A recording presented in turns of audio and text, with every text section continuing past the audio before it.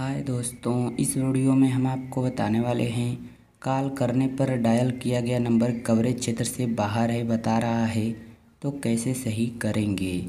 तो इसके लिए फ़ोन के सेटिंग्स में जाना है और नीचे आना है। तो यहाँ पर ऐप्स का ऑप्शन मिलेगा, इस ऑप्शन पर क्लिक करना है। अब ऊपर ऐप मैनेजमेंट या ऐप्स का ऑप्शन मिलेगा, इस ऑप्शन पर क्लिक करना है। अब जहाँ पर सभी ऐप्स रहते हैं, उस सेटिंग्स में आ जाएँगे। इसी सेटिंग्स में आना है और अब नीचे आकर फ़ोन वाले ऐप को खोजना है, जिससे फ़ोन लगाते हैं। तो देखिए, यहाँ पर ऐप आ चुका है। इस ऐप पर हम क्लिक करते हैं। क्लिक करने के बाद यहाँ पर फोर्स स्टॉप का ऑप्शन मिलेगा। इस ऑप्शन पर क्लिक करके फोर्स स्टॉप कर देना है। अब यहाँ पर स्टोरेज यूजेज या स्टोरेज का ऑप्शन मिलेगा।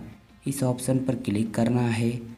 अब यहाँ पर क्लियर डाटा का ऑप्शन मिलेगा, इस पर क्लिक करना है और ओके कर देना है।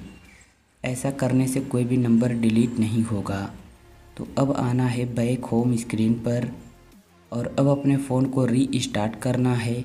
कैसे री स्टार्ट करेंगे? तो देखिए, जो फ़ोन का पावर बटन है जिससे मोबाइल लॉक होती है, इस बटन को कुछ सेकेंड तक दबाकर रखना है। तो यहाँ पर ऑप्शन आएगा री स्टार्ट या रिबूट का। इस ऑप्शन पर क्लिक करना है और जैसे ही फिर से क्लिक करेंगे तो फ़ोन अपने आप ही स्विच ऑफ़ होकर स्विच ऑन हो जाएगा। इससे कुछ भी डिलीट नहीं होगा और फ़ोन में जो भी प्रॉब्लम रहेगी, सब सही हो जाएगी। तो इतना करने के बाद आप फ़ोन लगा सकते हैं। चलिए हम फ़ोन करके चेक करते हैं।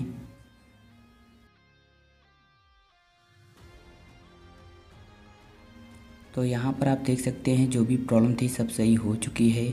इस तरह आपका भी ठीक हो जाएगा। तो उम्मीद है वीडियो आपको पसंद आई होगी।